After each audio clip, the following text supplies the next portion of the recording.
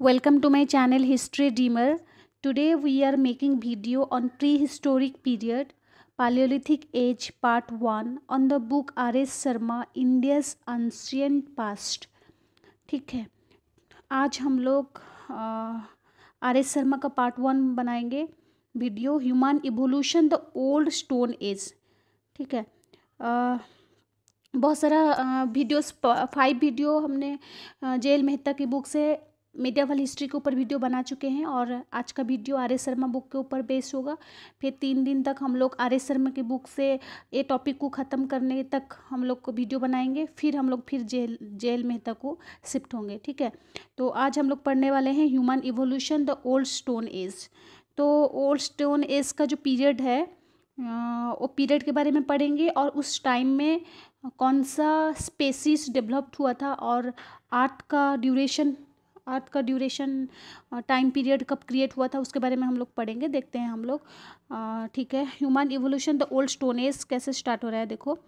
African ancestors of human beings जो हम लोग ह्यूमन बींग्स हैं अभी तो उसके अफ्रीकन अनसेस्टर्स बोला बोला जाता है कि जो पहला स्पेसिस जो आया था ह्यूमन बींग्स का पहला स्पेसिस वो अफ्रीका में दिखा गया था तो इसलिए बोला जाता है आज का जो ह्यूमन बींग है ह्यूमन बींग्स का जो अनशियंट अफ्रीकन अनसिस्टर्स थे, पहले उनके बारे में देखते हैं। पहला हम लोग देखेंगे यहाँ देखो the earth is over forty six hundred million years old जो हमारा अभी का अर्थ है, वो forty six hundred million years old है. The evolution of its crust shows four stages जो अर्थ का जो इवोल्यूशन हुआ था, वो फोर स्टेजेस में हुआ था. मतलब उसका जो क्रस्ट जो है, उसका फोर स्टेजेस दिखाया था. जो लास्ट फोर्थ स्टेज है, उसका नाम है क्वाटरनरी तो क्वाटरनरी बोला जाता है। तो इस ये जो मतलब ये जो पूरा पीरियड है, जो क्रस्ट है, उसका जो टाइम पीरियड को पूरा दो मतलब टू टू पार्ट में हम लोग डिवाइड जब करेंगे तो देखते हैं। It is divided into two epochs called Pleistocene age जो बोलते हैं ice age and Holocene post ice age तो और भी बहुत सारा पीरियड्स है आपको, वो तो पता है कि Palaeozoic period Mesozoic period Neozoic period period and Pleistocene age तो हम लोग ए वो तो बहुत सारा पीरियड्स है, बहुत सारे बुक्स में बहुत टाइप्स का मेंशन किया गया है डिवाइड किया गया है बट हम लोग आर एस शर्मा की बुक में देखेंगे तो इसको टू टू टाइप्स में वो लोग डिवाइड किए हैं, कैसे जैसे कि Pleistocene age ice age and Holocene age जो कि पोस्ट आइस एज तो फिर हम लोग यहाँ पे देखते हैं। द फ़र्स्ट इपोक लास्टेड जो टाइम पीरियड था, कब से, कौन सा पीरियड कब तक लास्टिंग था और जो लास्ट किया था तो उसके बारे में यहाँ पे है। The first epoch lasted from million BC to मतलब वन मिलियन बीसी से लेकर ट्वेल्व थाउज़ेंड बीसी तक एग्जिस्ट किया था, जो फ़र्स्ट इपोक जो था। और सेकेंड पीरियड जो था second period began in about twelve thousand B C to continues मैंने कंटिन्यूस टू दिस डेज़ मतलब अभी तक वो चालू है। मतलब पूरा डिवाइड किए हैं तो दो भाग में, जो कि एक जो था वो पहला वन मिलियन से स्टार्ट होकर ट्वेल्व थाउज़ेंड बी सी तक एग्जिस्ट किया था। फिर दूसरा वाला जो ट्वेल्व थाउज़ेंड से स्टार्ट होकर अभी तक कंटिन्यू है।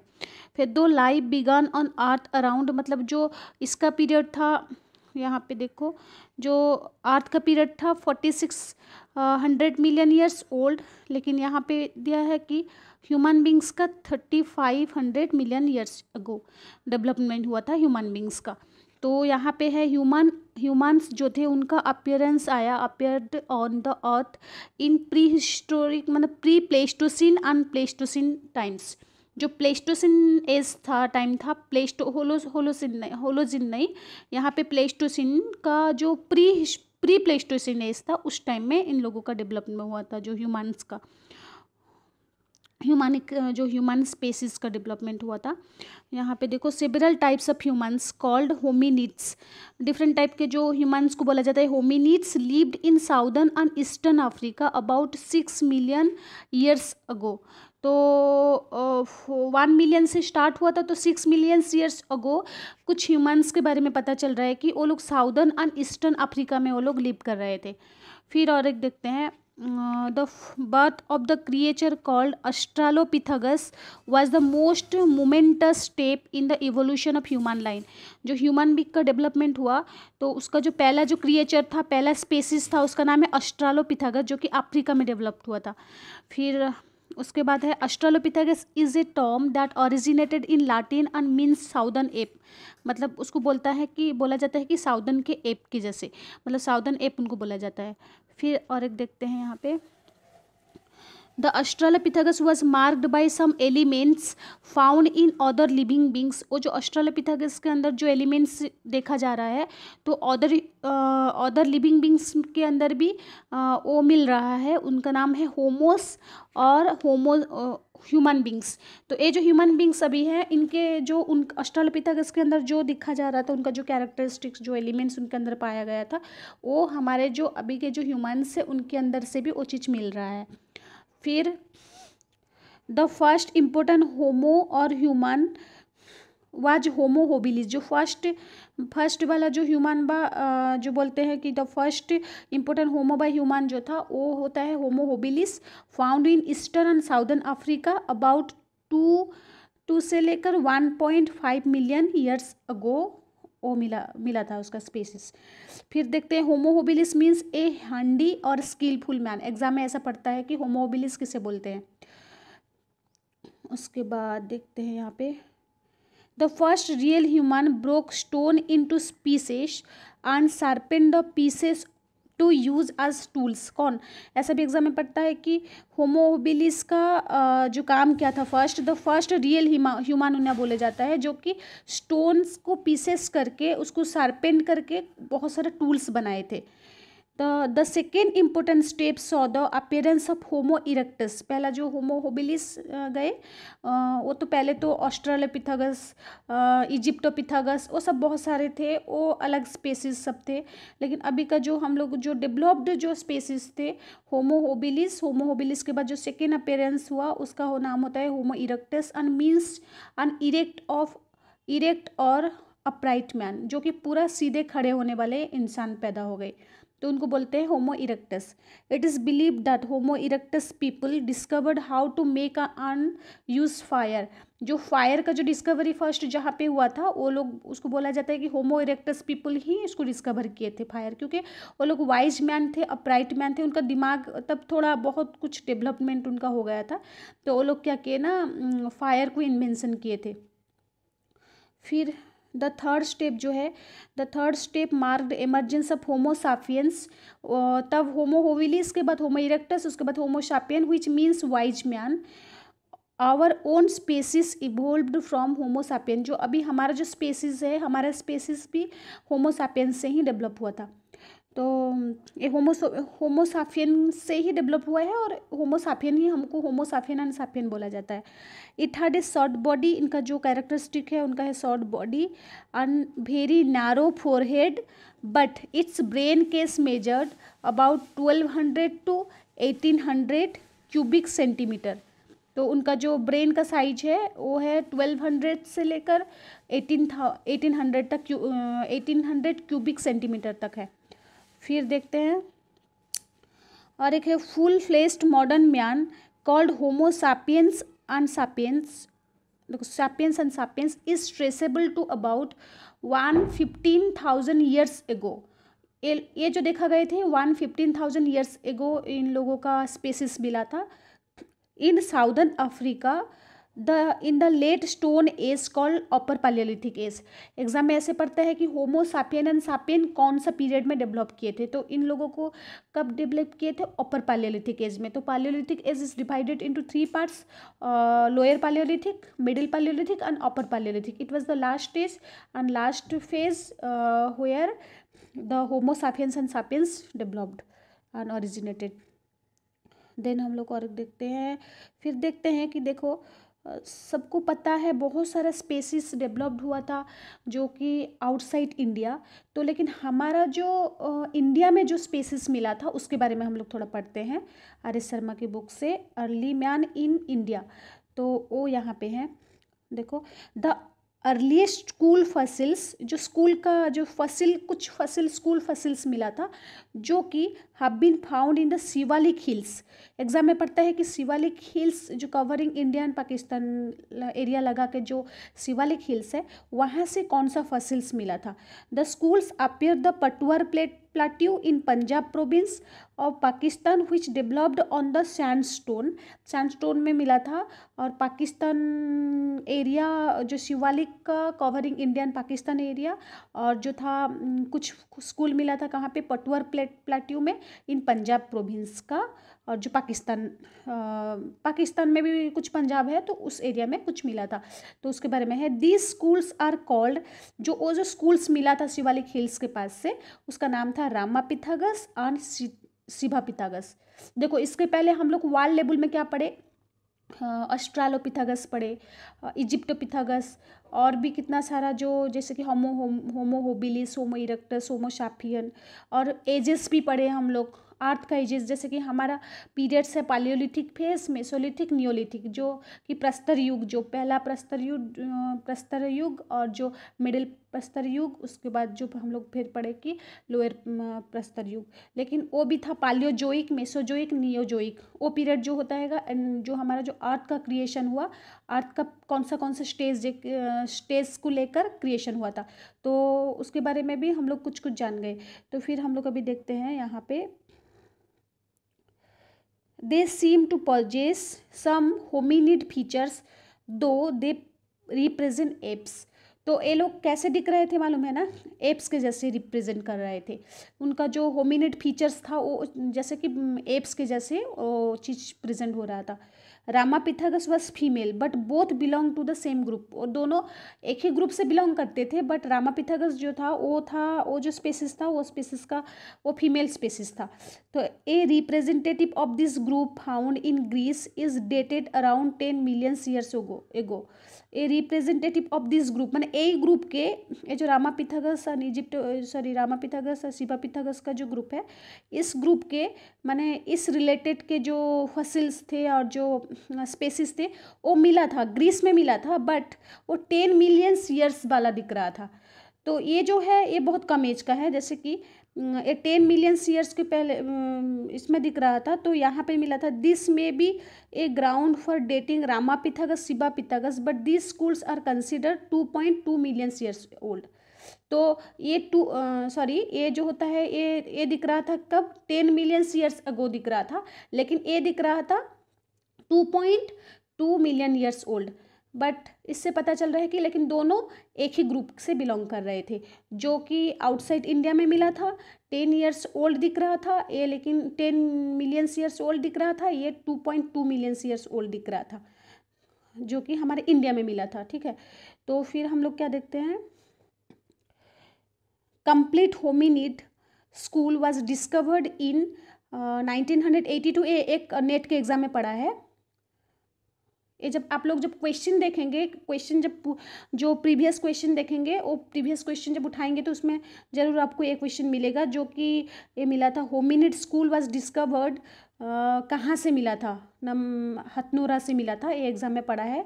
और हथनोरा कहाँ पे है? मध्य प्रदेश में। एग्ज़ाम में ऐसे भी पड़ेगा कि हथनोरा कहाँ पे प्रेजेंट है। और कब डिस्कवर हुआ था? 1982 में। This फसिल्ड skull was called Homo erectus ये जो फ़सल जो मिला था, इसको होमो इरेक्टस व अपराइट ह्यूमन बोला जाता था जो कि नाइनटीन में मिला था। बट इट इज़ अनाटोमिकली रिकोगनाइज्ड आज अर्काइक होमोसापियन बाद में इसको होमोसापियन बोला गया।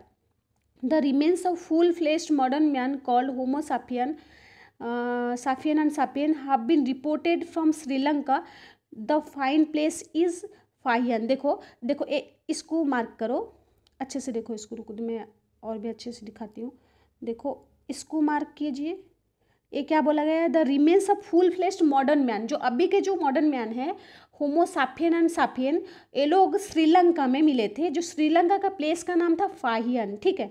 तो देखो, और भी इसके पहले मैं और एक दिखा रही हूँ। यहाँ पे क्या है? देखो, यहाँ पे देखो।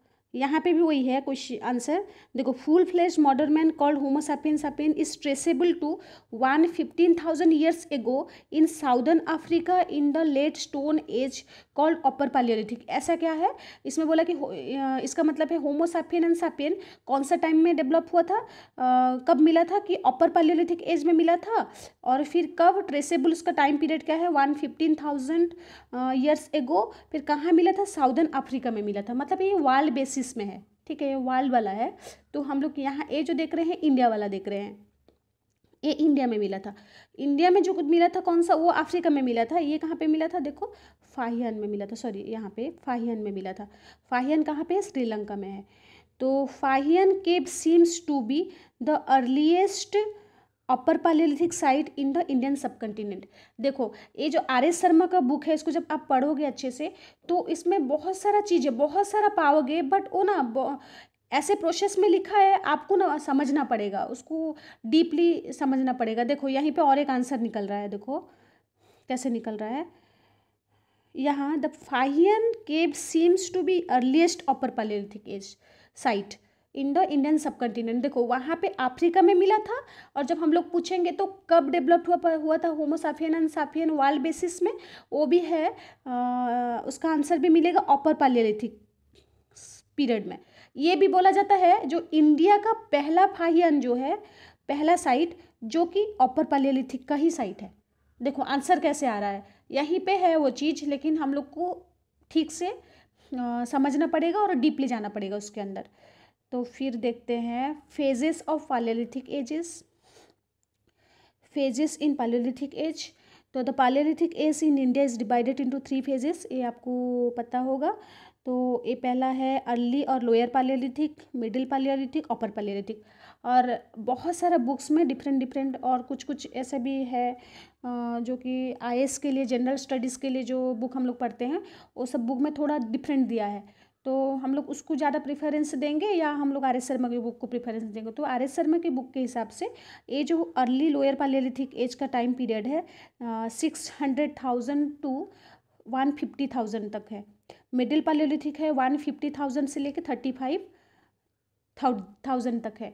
फिर थर्टी फाइव थाउज़ेंड से लेकर टेन थाउज़ेंड तक है। तो इसको हम लोग ही ज़्यादा बिलीव करेंगे और ज़्यादा सही मानेंगे।